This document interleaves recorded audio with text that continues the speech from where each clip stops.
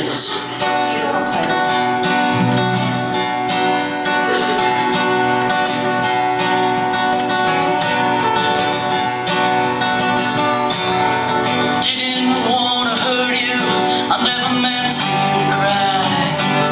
Sometimes that's the way it goes, and sometimes we get by.